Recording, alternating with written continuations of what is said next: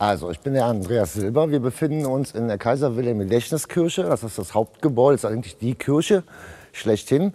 Also morgens fängt es halt an, man geht halt in die Kirche hinein. Dann kommt ähm, Aufräumarbeiten halt durch die Stuhlreihen gehen, gucken, ob Papier rumliegt oder ob Leute irgendwas vergessen haben.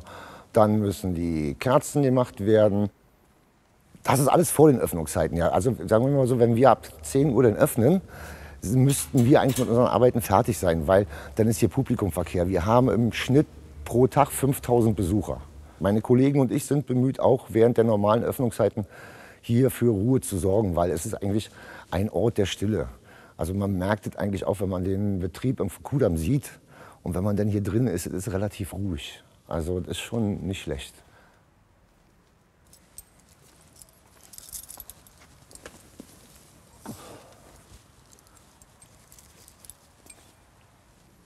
Eine Mütze. Das ist hier nicht ungewöhnlich. Davon haben wir genug. Wir könnten eigentlich schon einen Hut, so einen Hutladen aufmachen.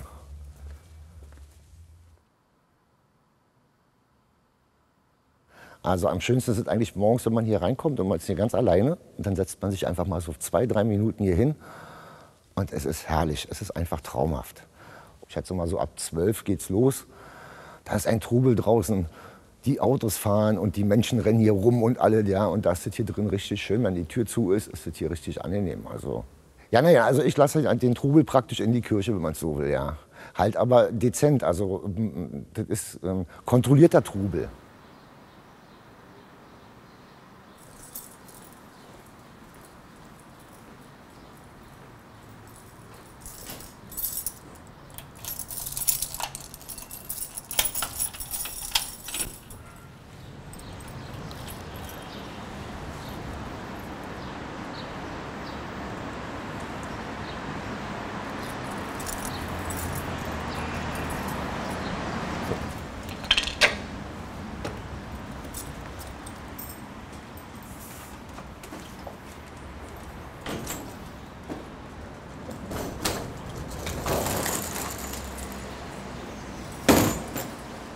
Muss sich überlegen, die Kirche ist 1961 gebaut worden und für 1961 hat diese Kirche eine unerhörte Akustik und eine Ruhe innen drinne, in sich. Also es ist phänomenal, was damals so geschaffen wurde. Ich meine, heutzutage, okay, ist kein Problem, das berechnet der Computer und weiß ich was alles, aber damals äh, und für die Zeit. Und was man jetzt zum Beispiel hört, ist die U-Bahn. Also Sie merken doch manchmal, Wenn sie stehen, dann vibriert der Boden so. Das liegt aber daran, dass damals, als die Kirche gebaut wurde, die U-Bahn, die gefahren sind, hatten nicht diese Gewicht, was sie jetzt haben. Und die sind damals mit vier Waggons gefahren. Heute fahren sie mit sechs oder acht Waggons und wiegen das Doppelte von dem. Und deswegen merkt man halt auch diese Vibration der U-Bahn.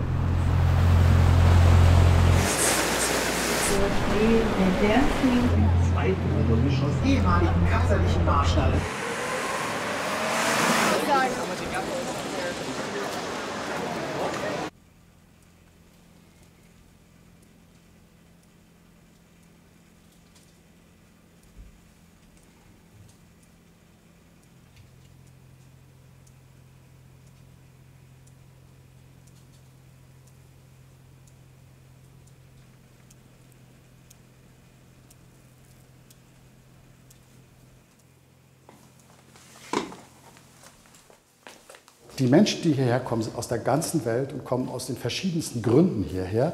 Es sind Menschen, die einfach ausruhen wollen und ein bisschen Ruhe suchen und immer fasziniert sind von der Situation. Vor dem Brandenburger Tor ist natürlich immer was los. Ja, also für mich ist äh, Stille eine ganz große Kraft. Aber ich liebe die Stille auch, das gebe ich, das gebe ich ehrlich zu. Manche Menschen wissen es auch, dass es so einen Raum der Stille gibt. Äh, Schulklassen, die kommen und den Raum der Stille aufsuchen, um sozusagen nicht religiöse Räume äh, zu erfahren. So, ein, äh, so, eine Klasse war da und hat einfach dieses Bild zum Beispiel mal dann als Resultat äh, äh gemacht, also toler, ein Toleranzbild, so heißt es auch. Ja. Äh, das sind sozusagen Menschen aus der ganzen Welt. Also wir sind hier im, äh, am Brandenburger Tor. Eigentlich kann man sagen im Brandenburger Tor, weil das das nördliche Torhaus ist. Und ähm, das ist der Vorraum vom Raum der Stille. Diesen Raum gibt es seit 1994 hier eingerichtet. Der Senat hat uns diese Räume zur Verfügung gestellt. Ja, mein Name ist Klaus-Dieter Imke. Ich bin der Vorsitzende des Vorstandes des Fördervereins. Es gibt einen Förderverein, der faktisch dieses ähm, äh, das trägt die Hauptaufgabe und sozusagen unser, unser großes Pfund sind die Betreuerinnen und Betreuer. Es sind Menschen, die äh, einen gewissen spirituellen Hintergrund haben auch. Ja? Also das ist ja ein Raum, der völlig ohne religiöse Symbole auskommt. Und trotzdem sind es Menschen, die diesen Geist des Friedens, diesen Geist der Völkerverständigung transportieren wollen. Man kommt ja hier rein erstmal so relativ unvermittelt, hat die Informationstafel auf Deutsch und Englisch, aber wir haben 38 Sprachen zur Verfügung. Ähm, und äh, das ist dann immer so äh, herauszubekommen, was ist dann sozusagen die Muttersprache der Menschen. Auch das sind so kleine Zeichen von Versöhnung und Friedensbereitschaft hier, wo manche Betreuerinnen und Betreuer ganz besonderen Wert drauf legen und sagen, ich möchte hier immer, dass Hebräisch und Arabisch nebeneinander liegt und dass Russisch und Ukrainisch auch ganz dicht beieinander liegt. Also auch so ähm, solche feinen Gedanken von Menschen finde ich hier immer wieder und das gefällt mir natürlich auch in der Arbeit mit den Betreuerinnen und Betreuern natürlich ganz besonders, weil ich denke, das ist ein kleines Zeichen, aber auch wichtiges Zeichen.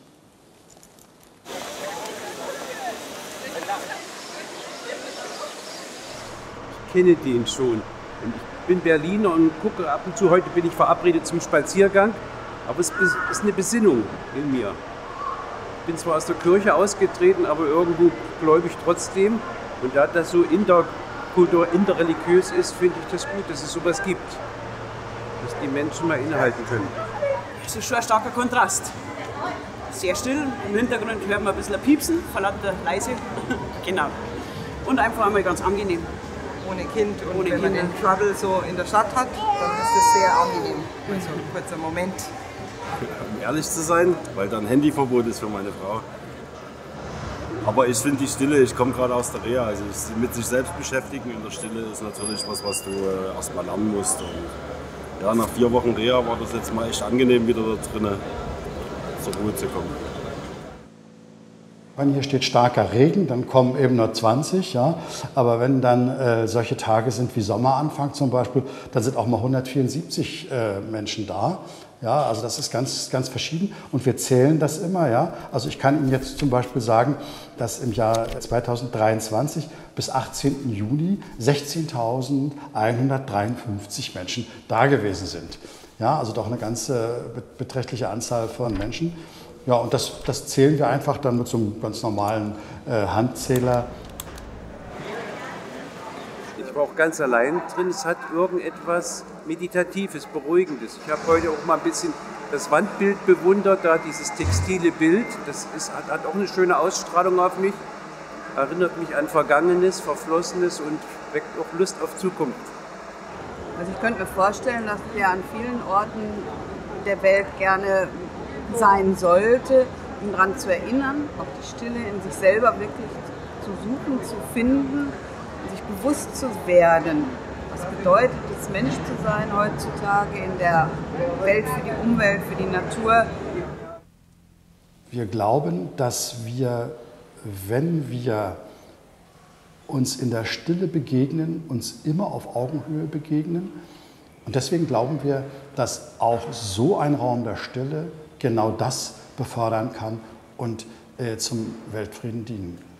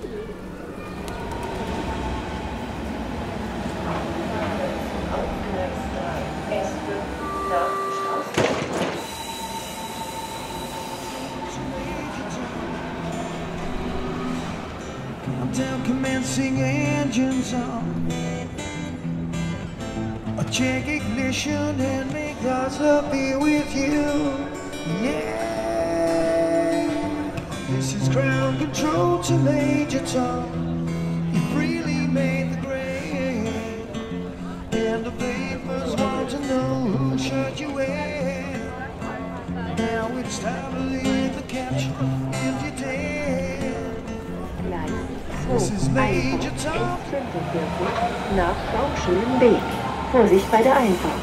Eingefahrener Zug auf Gleis 1, S41, Ringbahn über Südkreuz, Schöneberg, Westkreuz.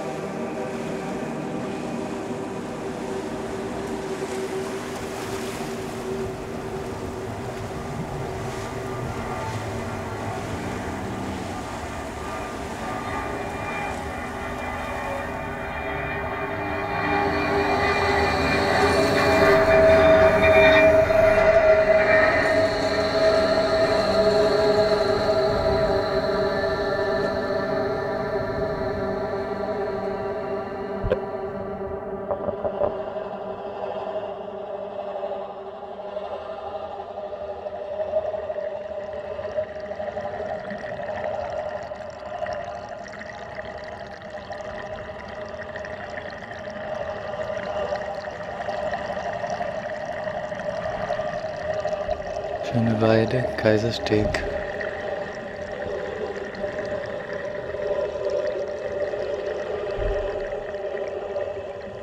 Genau, also das ist ja ein Hydrophon, Hydro vom Wasser.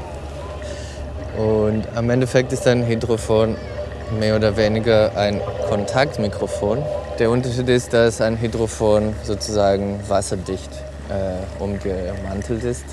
Es gibt so sehr krass wissenschaftlich korrekte, sehr teure, gut gemachte Hydrophone, dass man Krebse und Tiere und Viecher hören kann, um sozusagen Ökosystemforschung, Analyse und sowas zu machen.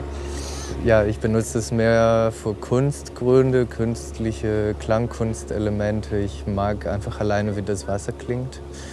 Und ich mag aber auch die Storytelling da hinten. Also ich versuche mir die Unterwasserwelt wie so ein Organismus zu, vorzustellen. Und wie wäre es eigentlich, wenn ich jetzt in der Spree wohnen würde und was würde diese, dieses Geräusch von diesem Touristinnenboot äh, jetzt auf mich wirken.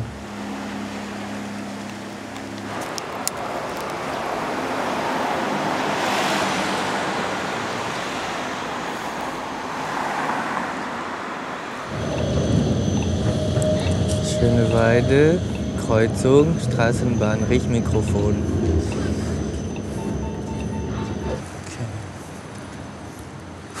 Das heißt ja auch Shotgun, so ein Mike.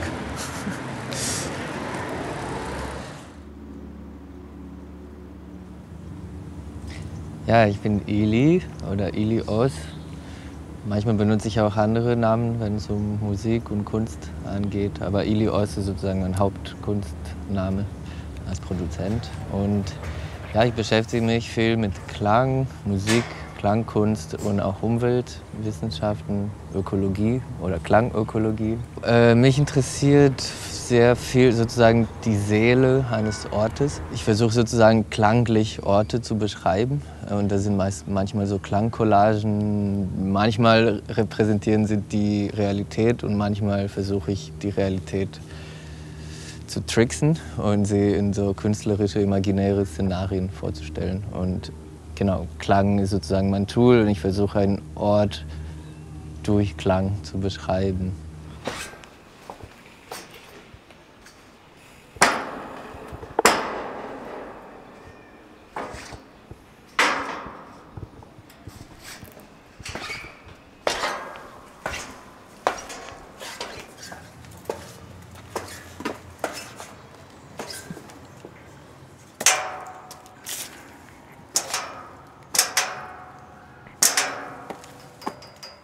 Manchmal, je nach Ort, ist halt die, die gesamte Klangkulisse Kulisse oder dieser Klangteppich, das Soundscape sozusagen in der Gesamtheit, was etwas erzählt. Und manchmal sind es einzelne Klangobjekte, die mich interessieren. Und diese Idee, die Welt als Musikkomposition zu sehen und dann, ich denke, du würdest auch für ein bestimmtes Stück nicht alle Instrumente nehmen oder ein Instrument würde mehr passen als was anderes. Und so sehe ich das auch.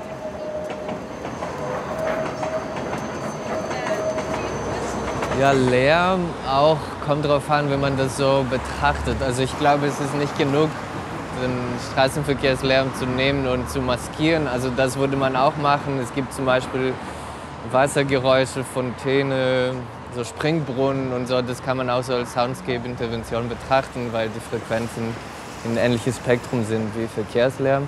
Aber für mich ist es auch, hat auch eine andere Seite. Also es ist auch so Material, ist auch Inspiration.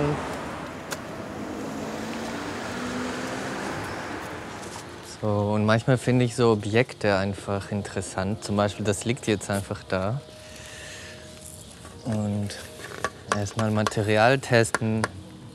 Das hätte ja auch so eine Kristallschale sein können. Aber jetzt kann es so ein richtig cooler Resonator, also so ein Trichter sein. Das ist im Prinzip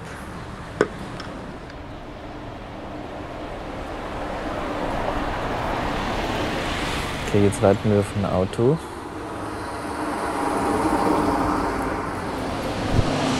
Ein bisschen wie so eine Muschel.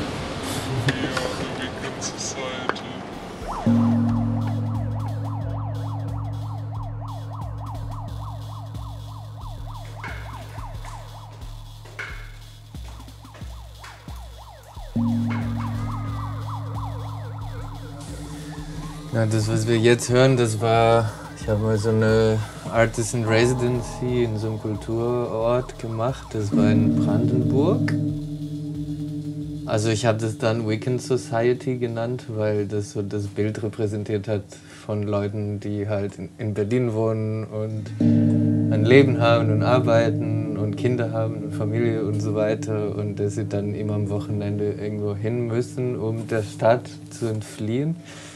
Genau, dann so ein paar Stellen sind sozusagen roh gelassen, ein paar sind so klanglich manipuliert und dann gibt es zum Beispiel Elemente, die ich so explizit sammle. Oder also ich, ich, ich sehe das wie so, wie so Jagen. Also wenn man an diesem Shotgun-Mic denkt, also es ist wie so Jagen nach Geräuschen.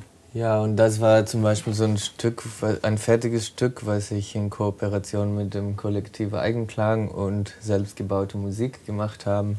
Da sind wir mit Fahrrädern in der Stadt rumgefahren und mit äh, Stadtobjekte gespielt und Aufnahmen gemacht und ein paar Elemente von einem Song von mir integriert in der Gitarrele und meine Stimme und Klanggeräusche.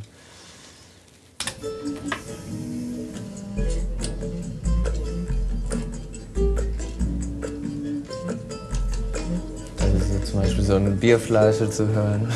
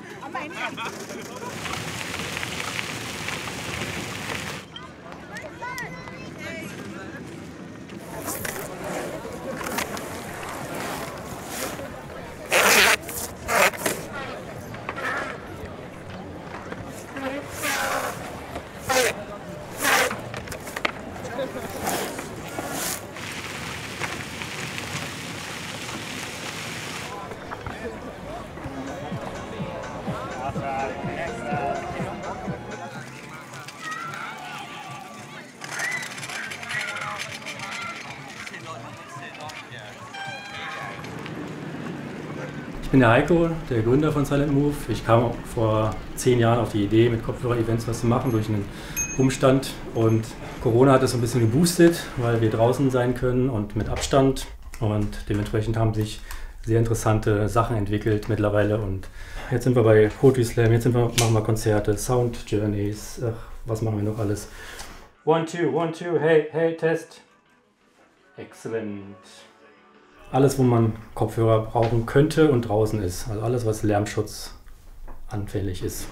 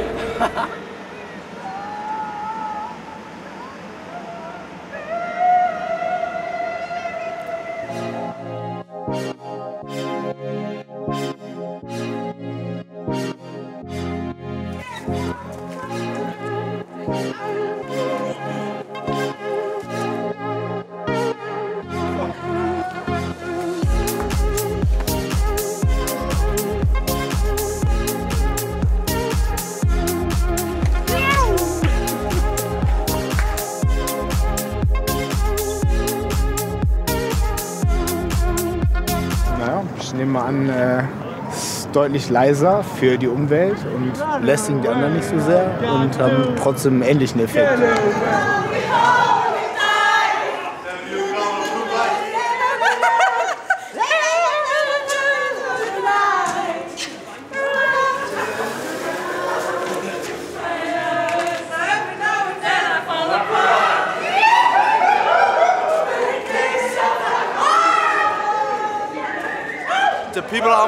To go around because at a club you think about what people actually think of you but here even though you're exposed to other people you you don't care. When you when you have a bluetooth box you're in your bubble but when you have those you're also in your bubble but you don't feel uncomfortable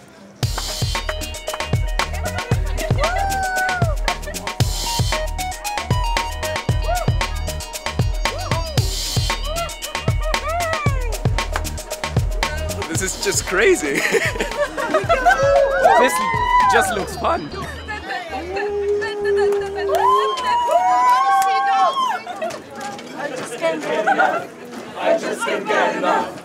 Das sieht echt lustig aus. Ich wollte gerade fragen, ob ich mitmachen kann. Ich meine, wir sind hier im Bundestagsviertel, so einfach keine laute Musik wäre halt schon Premium.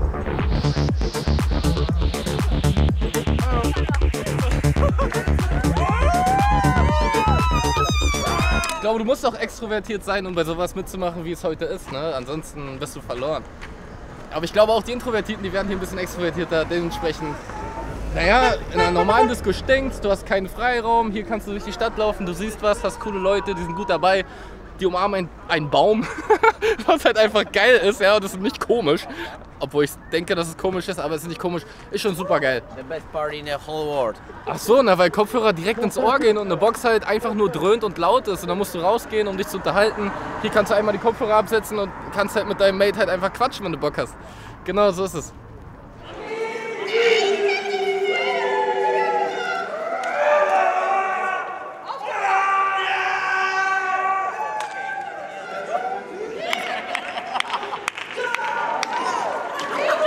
Ich hätte ja eigentlich gesagt gegen Lärmbelästigung, aber das ist ja auch nicht, das ist ja auch nicht leise, was hier gerade läuft. Also keine Ahnung.